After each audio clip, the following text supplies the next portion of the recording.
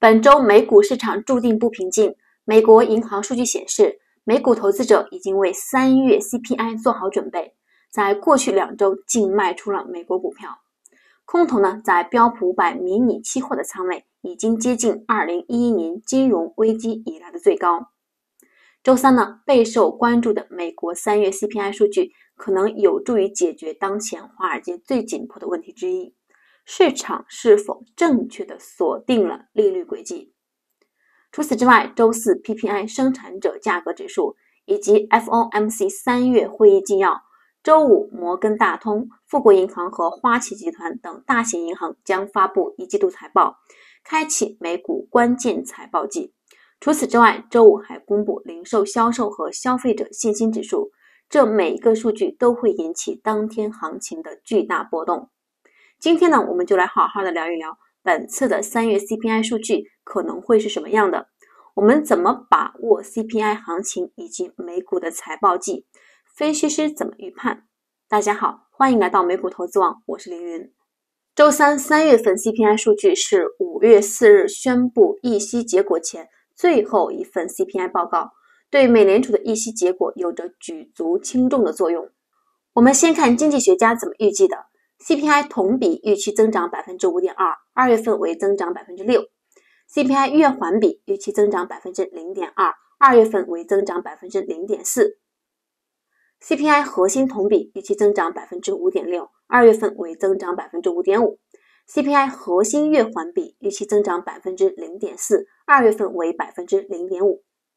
虽然在一些外行人士看来，总体 CPI 的变动往往更有话题性。但是，如果说周三的数据真的显示三月总体 CPI 数据大幅回落的同时，核心 CPI 却不跌反升，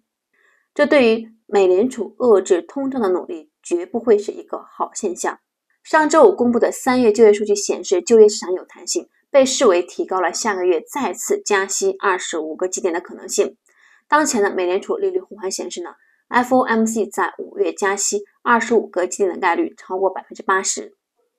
如果说整体 CPI 符合了预期，或者是低于预期，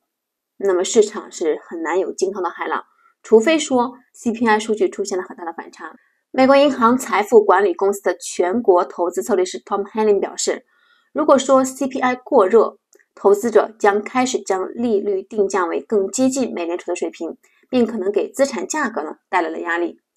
该公司呢建议客户略微减持股票，预计加息将打击消费者支出和企业的利润。其实呢，自 CPI 飙升至百分之九点一的四十年高点以来，整体 CPI 一直在随着能源的价格下跌而回落。然而呢，在四月二日欧佩克宣布意外减产后，这些成分可能会再次回升。在美国人开始计划夏季度假之际。不断上涨的原油价格可能会影响到汽油和航空燃料。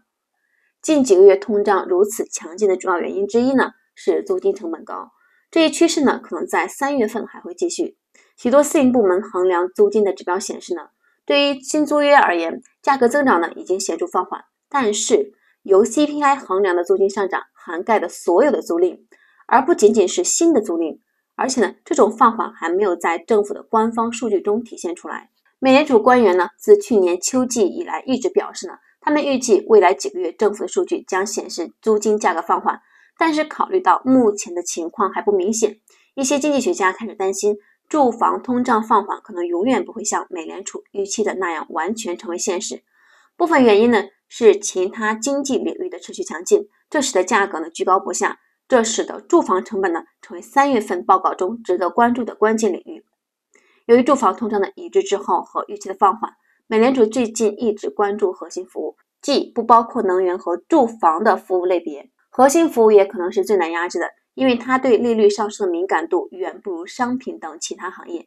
这一类别近期趋势的任何放缓，都可能有助于支持美联储在下次会议上暂停加息。然而呢，三月份呢，在这方面不会有什么好消息。花旗经济学家就预计呢，医生服务在二月放缓后将再度反弹，而娱乐和个人服务也可能保持高位。三月份的另一个焦点是汽车价格。随着二零二一年经济的重新开放，二手车成本飙升是本轮通胀的最初驱动因素。但是以 CPI 衡量的汽车价格已经下跌了大约一年，这帮助商品价格在近几个月整体下降。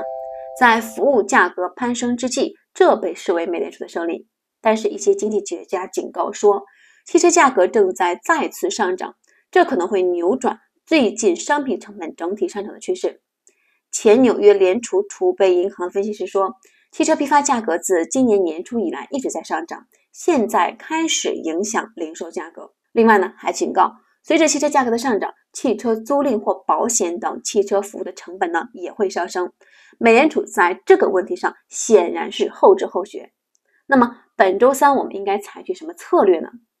本周三 CPI 呢有可能是财报季前的最后出货日，近期的走势呢也可能会是大盘上半年的高点，做多做空的都可以好好的把握。理由一呢，下个月的 CPI 照模型预测会有所反弹，这个月的数字越低，就显得下个月的高。第二个理由呢是。这可能会是货币政策开始有效发酵的第一个财报季，利用财报季前的利好先出货的几率不小，尤其是今年涨了不少的科技半导体板块。最后呢，散户看多情绪指数来到一年的高点，而这一年往往情绪高点就是阶段高位。高盛预测，如果说周三公布的通胀数据高于百分之六，那么标普五百指数将至少下跌百分之二。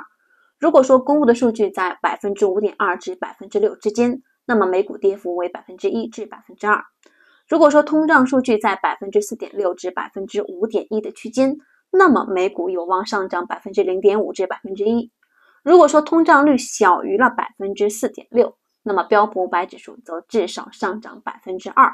让我们拭目以待明天公布的周三 CPI 数据。与此同时，同样将于本周三发布的美联储三月二十一到二十二日会议纪要，可能提供进一步收紧政策的意愿，以及对银行体系和贷款状况的看法的线索。此外呢，美联储官员未来一周的讲话日程繁多，且多数发表讲话的官员为二零二三年 FOMC 票委，有望给美联储五月份的利率决议提供指引。FOMC 永久票委纽约联储主席威廉姆斯，二零二三年 FOMC 票委哈克。卡什卡利将陆续发表讲话，芝加哥联储主席古尔斯与里士满联储主席巴尔金也将发表讲话。投资者均需留意他们对美联储后续加息步伐的看法。当前呢，多数美联储官员们仍然不断强调努力应对棘手的通胀问题和缓解美国银行业危机不冲突。接下来呢，我们来聊聊美股的本次财报季。美国银行业危机叠加，由此导致的美联储加息见顶预期，使得美股科技大盘股在一季度大幅反弹，进入技术性牛市。但是，不少分析师认为呢，科技大盘股在一季度涨势过度，支持其上涨的因素并不成立。近期，高盛首席美股股票策略师 David Costing 带领的团队在研报中表示，美股可能迎来三年以来的最糟糕财报季，这将导致美股暴跌。根据 FireSide 数据。华尔街预期美国企业首季盈利下跌百分之六点八。如果说到时候公布出来的数字真的是这，这将标志着美国企业利润呢是自二零二零年第三季度以来最严重的季度收缩。Fireside 指出呢，此次美股企业盈利预期下调与发布负面盈利指引的美国公司数量增加相符。截至目前，标普五百指数成分股中有一百零六家公司发布了负面猜测。而过去十年的平均水平为六十五家。我们可以肯定的是，近期华尔街一直在下调对美股企业的业绩预期，投资者将更多的把目光集中在企业的最新业绩上，以了解企业利润会蒸发多少，以及这是否会对这些公司的市盈率提高。对于一家上市企业而言，利润下降意味着公司估值可能会显得更加高昂。f s 的数据显示呢，标普五百指数成分股公司目前的市盈率。约为未来十二个月预期收益的十八倍，略高于十年平均值十七点三。其实呢，一直以来市场争辩的地方是华尔街预期低了，企业盈利更容易有超预期的表现，反映市场的过度恐慌；亦或是华尔街预期低了，而企业交出的业绩真的是欠佳，反映经济转差，冲击企业盈利，企业转趋防守，缩减资本开支，形成恶性循环。美国金融股，例如摩根、花旗等，本周五率先公布首季财季，成为了重大的启示。除了财务业绩本身之外，我们还将高度关注银行的前瞻性指引和银行系统的健康情况，比如说存款流出银行体系的情况等。那么，既然说美股糟糕的财报季已经将到来，我们应该采取什么适宜的投资策略来帮助自己的投资组合呢？第一呢，企业的利润率将是关键。四十年来最严重的通胀正在挤压企业的利润率。上个季度，标普五百指数成分股的公司利润率下降了百分之十一点二，超过了预期的百分之十一点一。正因如此，那些有可靠计划保护其利润率的公司应该会得到投资者的青睐。高盛表示呢，由于利润率预计将出现疫情以来最大的季度收缩，投资者将关注那些设法保持利润率以及通过什么方式保持利润率。答案呢是提高定价能力、削减成本。或实行更严格的费用管理策略，可能会获得回报。第二点呢，是企业是否在利用人工智能 AI 来削减成本和提高运营效率。由于 ChatGPT 的兴起，使 AI 成为2023年最受关注的投资趋势之一。微软母公司 Alphabet、谷歌和英伟达等大型科技公司在 AI 领域占据了主导地位，其业绩上涨抵消了其他市场板块的疲软，同时推动纳斯达克100指数重回牛市区间。